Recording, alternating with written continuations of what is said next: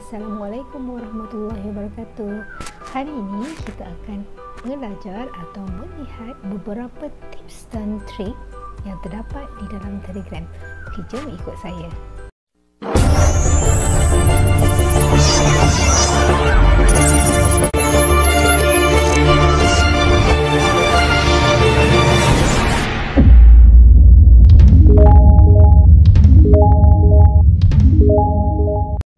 Okey, Assalamualaikum warahmatullahi wabarakatuh. Hari ini saya nak uh, tunjukkan cara macam mana kita nak buat discussion ni uh, secara sistematik eh dalam channel kita. Uh, ni bukan uh, dalam kita punya chat room tapi channel. So dia akan nampak macam ni lah lebih sistematik. Kalau kita pergi ke uh, Okey, dekat ni chat room dia akan pergi terus uh, siapa yang komen untuk apa yang kita discuss dalam kita punya channel. Okey. Banyak kat sini. Ha, macam mana nak tengok. Kat sini ada lebih sistematik lah apa yang kita post dan murid-murid kita komen dan sebagainya lah. Okey, bagaimana? Okey, anda mula-mula sekali anda create channel kita tekan yang ada pencil ni create channel. Contoh oh sorry. Contoh kat sini tekan new channel. Ok buatlah. Hmm, kita tulis apa saja eh untuk testing. Ok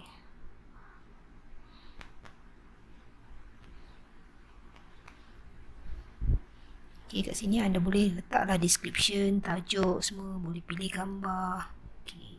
Lepas tu kita tekan tick. Ada atas sekali ada tick. Ada tick ni. Okay. Kita tekan tick eh.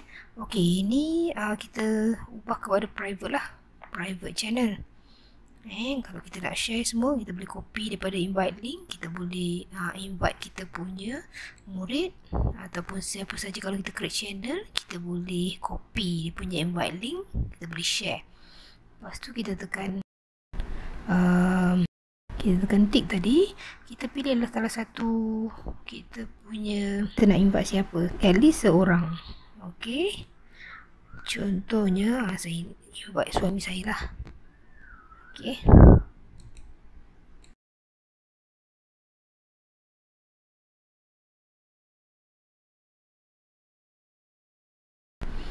Okay, sekarang kita dah ada grup. Satu grup eh. Ha, nanti boleh edit balik eh. Kalau nak buang ke, nak edit semula dia punya tajuk pun tak apa. Kita tekan grup punya uh, kita tekan tajuk grup tu kita tekan pencil dan kita nampak tak ini ada tekan discussion okey kita perlu tekan discussion ni okey kita pilih group yang mana kita nak discuss ataupun better kita create a new group okey group ni kita test lah untuk kita test dulu eh kita tekan group untuk test so kita ada group untuk test dulu Lepas tu kita dah siap semua, kita tekan tick. Okey, dah ada satu group. Okey, biasanya memang untuk group channel ni satu group je untuk discuss. Ha, dia tak boleh banyak-banyak group. Eh. Okey, kita create lah suatu, satu um, post. Ha, kita broadcast satu post untuk murid-murid kita komen eh. Kita boleh create poll ha, eh. kita boleh create poll anda boleh tengok saya punya video yang lepas-lepas macam mana nak create poll macam mana nak create game eh okay, kat sini ada nak voice message ke kita boleh send message kita boleh tengok discussion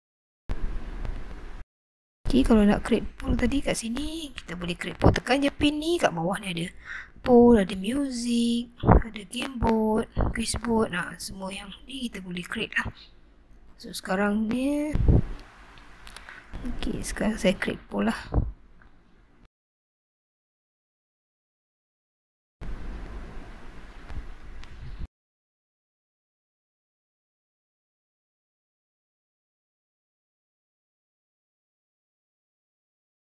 Okay, ini better buat menggunakan handphone eh. Kalau guna um, laptop, dia tak keluar untuk create new channel. Saya pun tak pasti dekat mana tapi cuba buat guna handphone lebih mudah.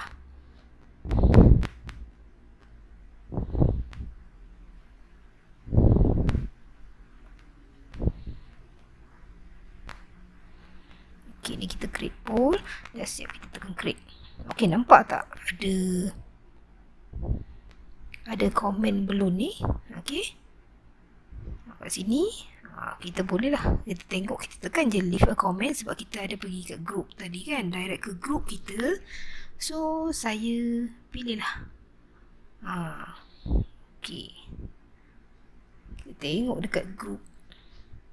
Ok kat sini. Dekat group test channel ni dia ada keluar kat sini. Eh, sebab saya seorang je yang ada so saya seorang je lah yang jawab soalan ni Okey, contoh kita buat lagi. Uh, Okey, contoh kat sini saya bagi soalan. Saya bagi soalan, nanti boleh terus pergi jawab. Okey, contohlah murid jawab.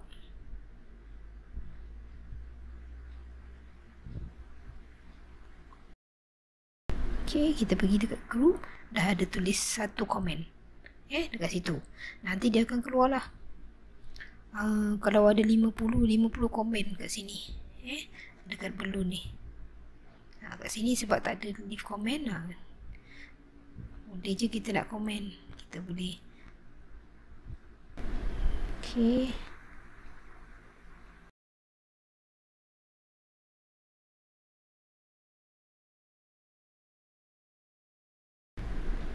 Hmm. Okay satu vote Okey, ada satu vote, satu komen. Okey, untuk yang ni pula yang bawah ni ada soalan pun ada satu komen. Ha, dia tak ada vote lah sebab dia bukan poll kan. Ha, just answer the questions. Okey, kalau kita tanya kadang-kadang murid kita, ha, kita bagi bahan, ha, murid komen kadang-kadang dia kata terima kasih cikgu. Ha, Okay, kadang-kadang kita post uh, selamat bercuti dekat dalam grup kita, channel kita, dalam channel kita dan uh, then dia orang akan respon. Uh, terima kasih, selamat bercuti juga cikgu. Okay, uh, dia respon. So dia akan nampak lah kat sini. Komen tu kalau satu-satu lah, kalau lima-lima lah. Kalau murid kita dua puluh, dua puluh lah komen. Uh, depends, kadang-kadang ada murid komen, kadang-kadang ada yang tak komen. Uh, Sehingga kita lebih sistematik kita punya channel dan kita akan refer kepada channel kita je komen yang kita bagi. Ataupun post yang kita bagi tu komen dia kita boleh refer daripada sini terus. Ha, perlulah kita nak buat uh, terus post dekat dalam kita punya group. Dan uh, bercampur kan. Jadi kadang-kadang kita nak kena scroll up scroll down balik semula nak cari message mana yang kita telah hantar tadi dan apa yang boleh buat komen. Ha, ni lebih sistematik dan lebih uh, murid akan lebih uh, kita lebih mudah untuk kontrol lah Okey, ini adalah group channel yang telah kita buat. Okey, contohlah cikgu dah ada channel. Okey, macam ni. Kita dah ada channel. Tapi kita just tengok um, ada mata ni kan. Yang mata ni dah ada group channel tapi tak ada group discussion discussion. Kadang-kadang dia orang ada pertanyaan tapi terus je link kepada cikgu ataupun terus whatsapp ataupun telegram kepada cikgu untuk tanya. Ah, cikgu cuti ni macam mana? Ah, cuti ni berapa bulan berapa bulan? Jadi dia tak boleh respon. Boleh nak respon daripada apa yang cikgu-cikgu post daripada channel. Macam ni ada 27 yang tengok.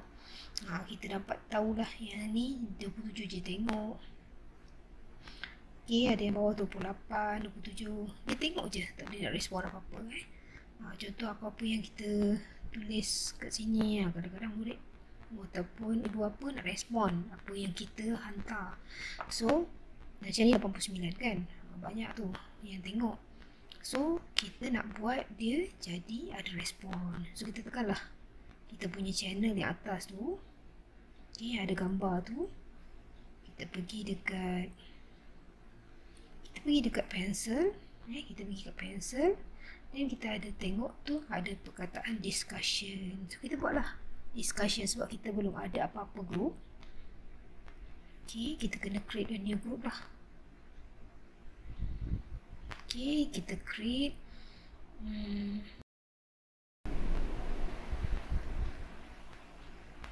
Ha, ni grup sekolah saya. Saya control. So, saya akan buat grup baru untuk parents ataupun murid kita untuk respon. Okay, so saya akan tick saja. Dia akan terus link ke sini lah. Ha, grup ni kita baru create. Kalau nak add member boleh, kita pun boleh bagi link kepada um, kita punya subscriber channel tu lah. Ok ambil je link tu kita share kan. Ataupun uh, mereka boleh tengok daripada ok dekat channel ni. Channel nanti lepas kita ok cuba saya deletekan satu Okey, dekat channel ni bila kita masukkan satu post, ada ah, ada leave a comment. Kalau kita tak invite uh, kita punya subscriber uh, link ni pun uh, kita punya channel pun dia akan terus direct ke kita punya group. Okey, terus direct ke comment. Okey, tak perlu nak uh, invite. Okey, yang ketiga ni saya tunjukkan kita tekan yang pensel semula.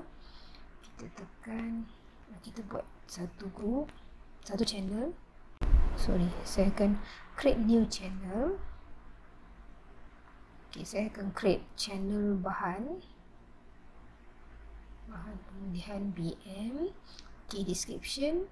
Uh, option optional. Nak buat pun boleh tak nak buat pun boleh. Ok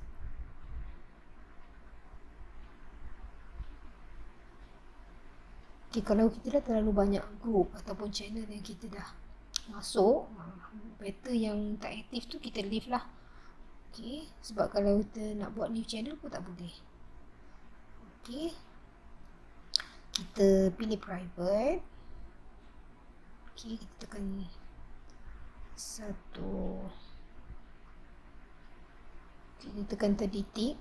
Okay, kita pilih seorang kita punya ahli okay, kita dah buat. Okay, kita dah buat ni. Kita dah buat satu channel. Okay, sekarang kita nak buat komen atau discussion room eh. okay, kita tekan tiga titik. Ataupun pencil kita tekan pencil kita pilih discussion. Ini saya pilih uh, group yang sedia ada. Okay, saya terus link ke group. Okey.